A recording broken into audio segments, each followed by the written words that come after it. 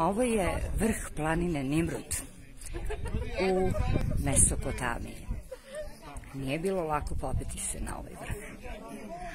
A ovo je inače grobnica, svetilište i mogli bismo reći spajalište istočne i zapadne kulture koji je pokušao da uradi kralj Antioh iz porodice Komagena.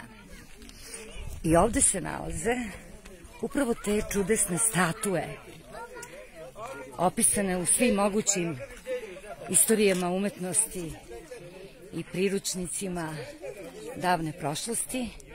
Dakle, statue koje su pokušale u jednom trenutku da spoje religioznu misao istoka i zapada,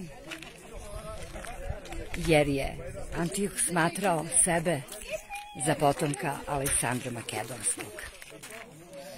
Kasnije dolaskom hrišćanstva ovim statuama posečene su glave. Tako to obično biva u smeni epoha.